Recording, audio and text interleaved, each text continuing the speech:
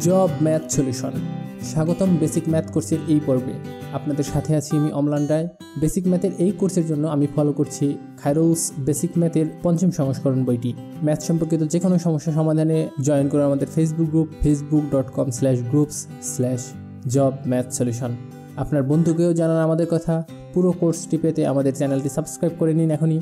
হাতের কাছে বই খাতা কলম নিয়ে ঝটপট তৈরি হয়ে নিন। চলুন শুরু করা যাক আজকের পর্ব।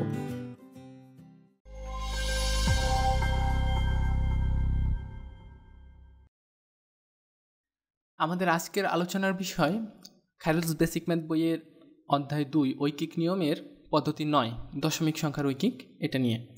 আমরা একটু দেখে ফেলি। এখানে কতগুলো টিপস দেওয়া আছে, আপনারা টিপসগুলো পড়ে নিতে চাইলে পড়ে নিতে পারেন। আমরা সরাসরি অঙ্কে চলে যাচ্ছি। অঙ্কে অঙ্কে আপনি সবসময় চেষ্টা করবেন অঙ্ক করে করে ব্যাপারগুলো বোঝার জন্য। তাহলে সুবিধা হবে। নব্বই নম্বর অঙ্কে বলছে যে, এক হালের ডিমের দাম ছাব্বিশ টাকা হলে পঁয়তাল্লিশ দশমিক পাঁচ টাকায় কতগুলো ডিম পাওয়া যাবে? তাহলে দেখুন, ছাব্বিশ টাকায় পাওয়া যায় এক হালি ডিম। এক হালি মানে হচ্ছে চারটা ডিম। তাহলে এক টাকায় কম পাওয়া যাবে, রাইট? এই জন্য হবে ডিভাইড চব্বিশ ডিভাইডেড, চার ডিভাইডেড বাই ছাব্বিশ। এবার পঁয়তাল্লিশ দশমিক পাঁচ টাকায় কতগুলো পাওয়া যাবে? বেশি পাওয়া যাবে জন্য হবে গুণ। তাহলে পঁয়তাল্লিশ, চার গুণ পঁয়তাল্লিশ দশমিক পাঁচ, পঁয়তাল্লিশ দশমিক পাঁচ ডিভাইডেড বাই হচ্ছে ছাব্বিশ। এবার যদি আমরা কাটাকাটি করি, তাহলে কাটাকাটি করতে গেলে দেখা যাবে আমাদের একটা দশমিক আছে। দশমিক তোলার নিয়ম কি? দশমিক তোলার নিয়ম হচ্ছে যে পাশে দশমিক থাকবে, ওই পাশে দশমিকের পরিবর্তে বিপরীত পাশে একটা এক দিয়ে গুণ দিব। এরপরে পরে যতগুলো সংখ্যা থাকবে যতগুলো ডিজিট থাকবে, দশমিকের পরে যতগুলো ডিজিট থাকবে, একের পরে ততগুলো ডিজিট পাতাবো তাহলে এখানে এখানে পাঁচের দশমিকের পরে একটা ডিজিট আছে, শুধুমাত্র পাঁচ। এই জন্য নিচে হচ্ছে পাঁচ দিয়ে একটা শূন্য নিয়ে আসব। তাহলে এবার যদি আমরা কাটাকাটি করি, তাহলে দেখা যাবে যে, আমরা ক্যালকুলেটর ব্যবহার করে দেখলাম যে উত্তর হচ্ছে ক্যাল ষাটটি। তো আপনাদের আসলে এরকম মানে একটু বড় ধরনের কাটাকাটি এগুলো আসলে পরীক্ষায় কম দেওয়ার কথা। আমরা পরবর্তী অঙ্কে চলে যাচ্ছি। একানব্বই অঙ্কে, একানব্বই নম্বর অঙ্কে বলছে যে, বিশ দশমিক পাঁচ কেজি চালের দাম ছয়শো বাইশ দশমিক এক সাত পাঁচ টাকা হলে পাঁচ কেজি চালের দাম কত? খুব সহজ অঙ্ক। দশমিক দেখে ভয় পাওয়ার কিছু নাই। বিশ দশমিক পাঁচ কেজি চালের দাম ছয়শো বাইশ দশমিক এক সাত পাঁচ টাকা। তাহলে বলেন তো যে এক কেজি চালের দাম বেশি না কম? কম। এই জন্য কী হবে? ছয়শো বাইশ দশমিক এক সাত পাঁচ ডিভাইডেড বাই বাই বিশ দশমিক পাঁচ। তাহলে পাঁচ কেজি চালের দাম কত? পাঁচ পাঁচ কেজি চালের দাম বেশি এই জন্য এটার সাথে গুণ হবে। আমি সরাসরি এখানে গুণ করে দিচ্ছি যে পাঁচ কেজি চালের দাম এটার পরবর্তী যদি পাঁচ কেজি চাল হয়, তাহলে পাঁচ কেজি চালের দাম হবে বেশি জন্য এটাকে সরাসরি এখানেই গুণ করে দিচ্ছি। এক লাইন কম লিখে পারব, এই জন্য। এরপরে আমরা যদি দশমিক তুলতে চাই, কি বলেছিলাম? যে দশমিক তোলার জন্য দশমিকের পরিবর্তে বিপরীত পাশে একটা এক নিব, তারপরে যতগুলো ডিজিট ততগুলো জিরো এখানে দশমিকের পরে তিনটা ডিজিট আছে, এই জন্য তিনটা জিরো নিচ্ছি। এখানে দশমিকের, দশমিক তুলতে হলে এটার উপরে একটা এক, এবং এরপরে একটা দশ, একটা ডিজিট আছে, এই জন্য একটা জিরো এটা যদি বুঝতে সমস্যা হয়, আবার দেখেন। একটু কাইন্ডলি ব্যাক করে আবার দেখেন। এবার যদি আমরা কাটাকাটি করি, এই জিরোতে এই জিরো কাটা যাবে, আর হচ্ছে পাঁচ দিয়ে এটাকে কাটা যায়, চার পাঁচে বিশ, আর এক একচল্লিশ। এবার এটাকে অনেক বড় একটা অঙ্ক আসলে। এই জন্য আমরা এটাকেও আসলে ক্যালকুলেটরের সাহায্য নিচ্ছি। এত বড় অঙ্ক পরীক্ষা আসবে না, নিশ্চিত থাকেন। অন্ততপক্ষে এমসিকিউ পরীক্ষা আসবে না। যদি লিখিত পরীক্ষা আসে, ভাগ করে নিয়ে। এক পাঁচ এক দশমিক সাত পাঁচ। তাহলে ক্যালকুলেটর ব্যবহার করে দেখা গেল যে এটার দা পাঁচ কেজি চালের দাম, এটা আসে আর কি। ঠিক আছে, আমরা পরের পেজে চলে, পরের অঙ্ক চলে যাই। বিরানব্বই অঙ্ক, যদি প্রতি কেজি আলুর দাম সাত দশমিক দুই দুই পাঁচ টাকা হয়, তাহলে এক মন আলুর দাম কত? আচ্ছা এক মন সময় সমান চল্লিশ কেজি, এটা আপনাকে জানতে হবে। তাহলে চিন্তা করেন যে এক কেজির দাম হচ্ছে সাত দশমিক দুই পাঁচ টাকা, তাহলে চল্লিশ কেজির দাম কত? চল্লিশ কেজির দাম বেশি, সাত দশমিক দুই পাঁচ গুণ হচ্ছে চল্লিশ, তাহলে কত হবে? এটাতে শুধুমাত্র গুণ দিলেই হবে। গুণ কীভাবে করতে হয়? দশমিকের গুণ। প্রথমে দশমিক ছাড়াই সব কিছু গুণ করব। গুণ করার পরে ডান দিক থেকে যত ঘর আগে দশমিক আছে, তত ঘর আগে দশমিক বসিয়ে দেব।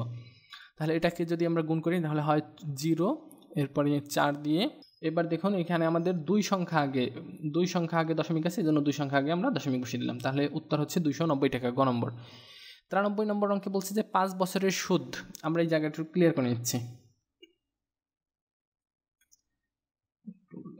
বলা হয়েছে যে পাঁচ বছরের সুদ যদি সাঁত্রিশ দশমিক পাঁচ টাকা হয়, তাহলে একশো পাঁচ, একশো সাতাশি দশমিক পাঁচ টাকা সুদ হতে কত বছর লাগবে? এখন আমাদের বের করতে হবে বছর, সুতরাং বছর রাখব হচ্ছে আমরা কোন পাশে? ডান পাশে। সাঁত্রিশ দশমিক পাঁচ টাকা সুদ হয় কত বছরে? পাঁচ বছরে। তাহলে এক টাকা সুদ হবে কম বছরে এই জন্য ডিভাইড পাঁচ বাই হচ্ছে সাঁত্রিশ দশমিক পাঁচ, আর একশো পঁচাশি, একশো সাতাশি দশমিক পাঁচ টাকা সুদ হবে কত? বেশি দিনে এই জন্য গুণ। এক আট সাত দশমিক পাঁচ ডিভাইডেড বাই সাঁত্রিশ দশমিক পাঁচ। এবার এইখানে একটা দশমিক আর এইখানে একটা দশমিক আসলে তুলে দেওয়া যায়। যদি দশমিক দশমিক উপরে নিচে দশমিক সংখ্যা সমান থাকে, তাহলে দশমিক তুলে দেওয়া যাবে। মানে ব্যাপারটা কি? ব্যাপারটা হলো যে এটাকে উপরেও দশ দিয়ে গুণ দেওয়া লাগতেছে, নিচেও দশ দিয়ে গুণ দেওয়া লাগতেছে। দশ দশ কাটা যায় এই জন্য আসলে আমাদের দশমিক দশমিক তুলে দিচ্ছি। এবার এটাকে যদি আমরা ডিভাইড করি অ্যান্সার হচ্ছে পঁচিশ। আমি এটা ক্যালকুলেটার ব্যবহার করে বের করলাম। এইরকম বড় বড় অঙ্ক এমসিকিউতে অন্ততপক্ষে আসার সম্ভাবনা খুব কম। চুরানব্বই নম্বর অঙ্কে বলছে, ষাট ফুট। বলছে, ষাট ফুট উঁচু একটি দালানের একুশ দশমিক পাঁচ ফুট দীর্ঘ ছায়া হয়। একই সময়ে নিকটবর্তী গাছের ছায়ার দৈর্ঘ্য আঠারো ফুট হলে গাছের উচ্চতা কত? তাহলে দেখুন যে বলছে যে আমাদের কত? আমাদের বের করতে হবে গাছের উচ্চতা। তাহলে উচ্চতা আমরা রাখব হচ্ছে ডান পাশে। একুশ দশমিক পাঁচ ফুট যদি ছায়া হয়, তাহলে উচ্চতা ষাট ফুট।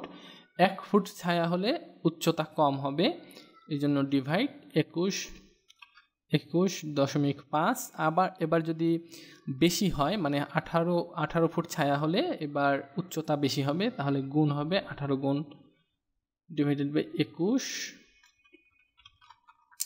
একুশ দশমিক পাঁচ। এবার দশমিক তোলার জন্য এই পাশে আমরা কি করব? দশ, একটা জিরো, একটা এক এবং তারপর একটা ডিজিটের জন্য একটা জিরো। এবার যদি আমরা কাটাকাটি করি, তাহলে আমরা কীভাবে কাটাকাটি করতে পারব? এটা যদি কাটাকাটি করা হয়, তাহলে অ্যান্সার আসলে আসবে হচ্ছে পঞ্চাশ দশমিক দুই ফুট। আমরা চলে এসেছি পরের পেজে এখানে আমাদের পদ্ধতি দশ, বিবিধ ধরনের ঐকিক। এটা নিয়ে আলোচনা করা হয়েছে, বিবিধ ঐকিক। তো আমরা একটু করে ফেলি, আসলে সময় নষ্ট না করে আমরা সরাসরি অঙ্কে চলে যাই। পঁচানব্বই নম্বর অঙ্ক হচ্ছে একটি এক্সটি আপেলের মূল্য ওয়াই টাকা হলে এক্সটি আপেলের মূল্য ওয়াই টাকা হলে পি টাকায় কয়টি আপেল পাওয়া যাবে? তাহলে এখন দেখুন।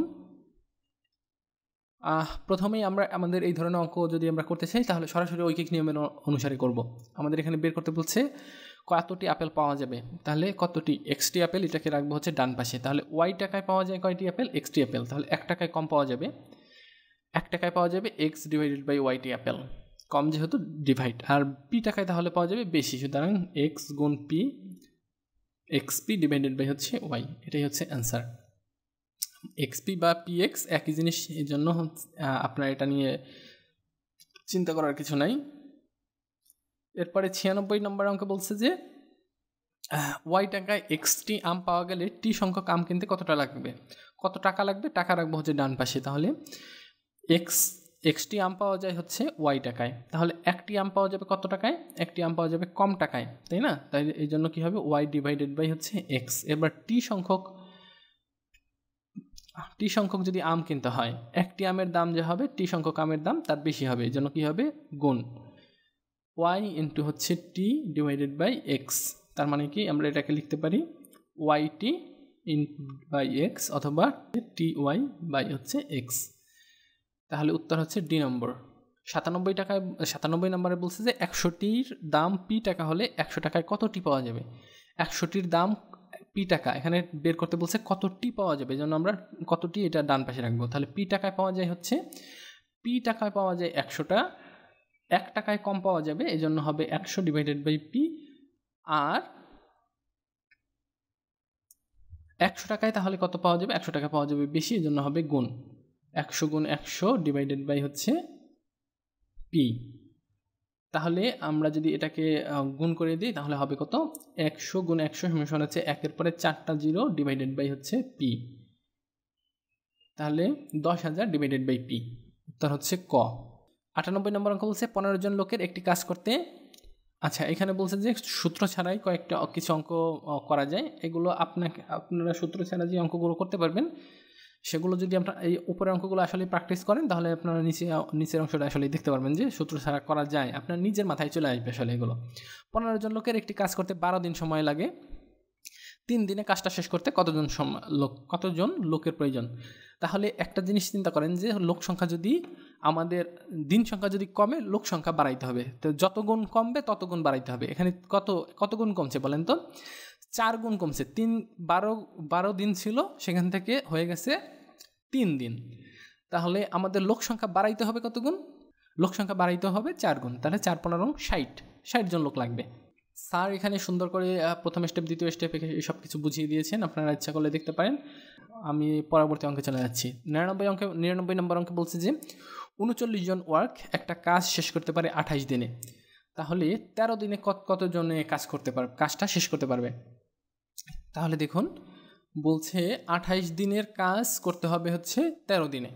এটা কি সরাসরি করার উপায় নেই? অন্ততপক্ষে এইটুকু লিখে আসলে আপনাকে করতেই হবে। তবে এইটা করতে পারবেন তখনই, যখনই আপনার উপরের অঙ্কগুলো করে আসলে আপনি বুঝতে পারবেন যে কোন জায়গায় কোন সংখ্যাটা যাবে এবং খুব দ্রুতই এই অঙ্কগুলো করা যায়।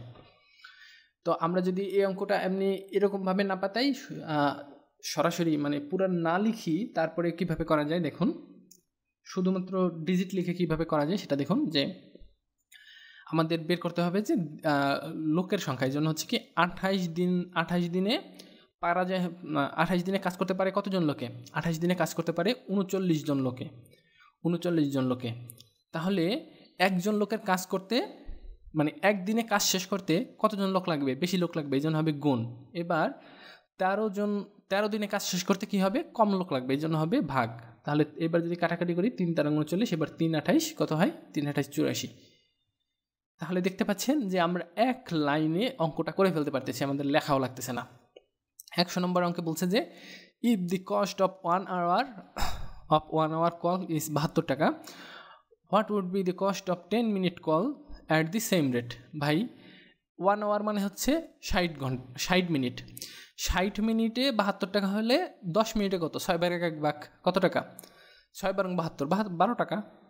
এক, একশো এক নম্বর অঙ্কে বলছে if a sprinter takes thirty step in nine seconds how many steps does he takes in fifty four seconds তাহলে দেখুন যে এখানে বলছে যে নয় সেকেন্ডে যা যা নিবে, চুয়ান্ন সেকেন্ডে তার কয় গুণ নেবে?